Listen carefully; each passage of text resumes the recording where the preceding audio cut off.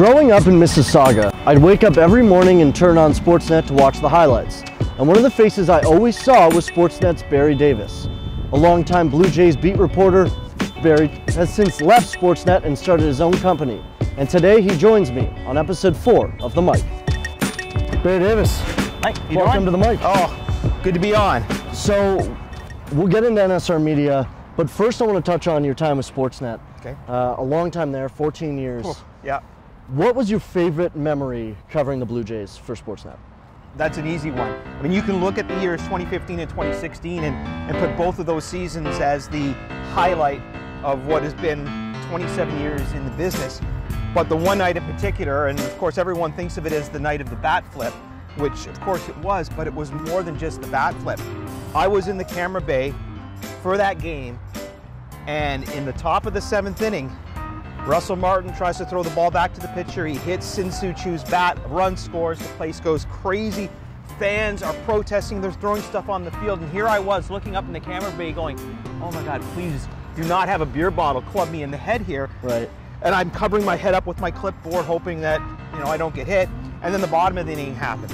And then Jose steps up, hits that memorable home run. The bat flip. And the cool thing for me is I will always get a chance to relive that moment every time I see a picture of that bat flip home run because there in the camera bay amongst all the people is this guy in a suit doing something he should never be doing when he's a reporter and that is going like this and witnessing one of the greatest moments in franchise history other than the Joe Carter home run but you know every time I go into a collectible store and I see a picture I'm like yep there I am right there in his picture That's awesome. So NSR Media, Mm-hmm. no suit required. yes What is your goal with it?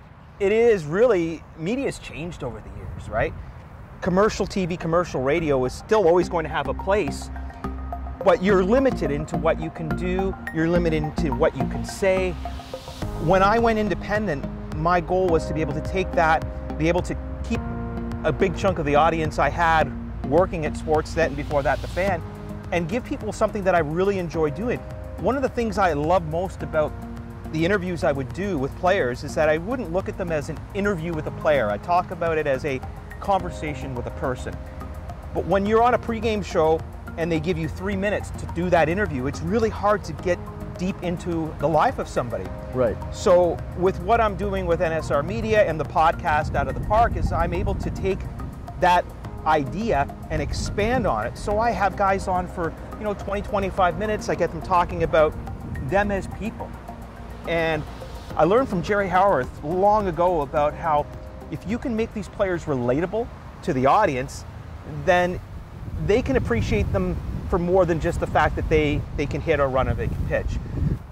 Where did the idea for your new company come from? Well, it's funny because when when I left, my first thought was, okay, okay, what now? Where do I go from here? Well, first of all, I knew that I wasn't going to be on the road for 150 days a year, so I was going to be able to spend some more time with my family. But I also had to find a way to, to make a living. How am I going to make money? How am I going to pay the mortgage? And a buddy of mine, who ended up being my producer and co-host of my podcast, Matt McFarland, who I'd known for many years because he was my son's drum teacher, we became very good friends. He said to me, "Why don't you do a podcast?" I said, "You know what? I've had a bunch of people say that to me on Twitter. What's a podcast?" I had no idea. And he explained to me what it was, and I said, "Okay, well, you know, maybe it's worth giving it a try."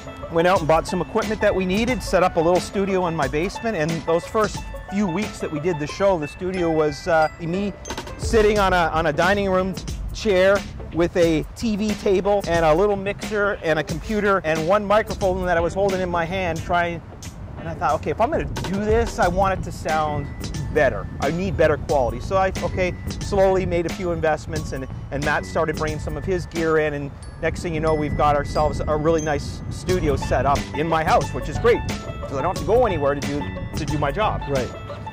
If I'm watching this, how do I get my hands on out of the park? Oh, okay, that's easy. Uh, best way to do it right now is to go to our website, which has been completely redesigned. It's uh, nsrmedia.ca, and there you'll find all of our podcasts. You're part of a Tom Petty cover band.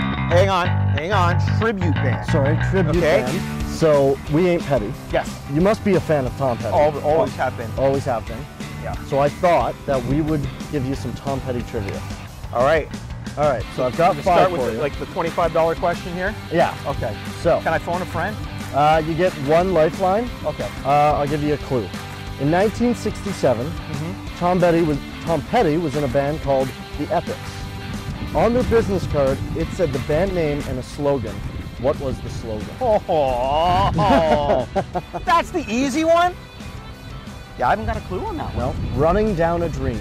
Seriously. Yeah. Okay. Said it on the business I guess. I need to watch the documentary again. After the Epics disbanded, Tom Petty starts a new band. Mm-hmm. Yes. This was the precursor Yes. to the Heartbreakers. Mudcrutch. One for two. Okay. Tom Petty met his met this rock and roll legend when he was a young boy, and meeting this person made Elvis Petty Presley. want to be a rock star. It was Elvis Presley. See, I got it. I got three. I got to answer quickly, and I'll just to make up for that horrible first attempt. In 1988, he joined a new band. Mm-hmm. What were they called? The Traveling Wilburys. Three for four. In 1996, a down on his luck sports agent signed the top prospect in the NFL draft to be his client. Leaving that meeting in his car, he famously blasted out the lyrics to a famous Tom Petty song. What was the song and who is the agent? Okay, you said I get a lifeline. Yeah. Okay, shoot me the lifeline. The sports agent is fictional. Oh, oh yeah. So we're talking uh, uh, Tom Cruise, Show Me the Money movie, right? Yeah, And wasn't it? Wasn't free falling, was it? it was free okay, falling. free falling. Just give me the the first, the first like Letter letter. J. Oh, Jerry Maguire. Jerry Maguire. Mm. So four and a half out of Four and a five. half out of five? Or three and a half, Three and a half. Yeah, Yeah, three and a half. yeah, that's all right. I was going to take the four and a half, but But I'll yeah, settle with the three and a half. three and a half. Yes. Okay, well, Barry, Right. Thank you so very much for much. It's been a pleasure. yeah, it was a lot of fun. You bet. Thank you for watching The Mic. This was episode four. Make sure to like and subscribe below because we'll be bringing you a new episode every Friday.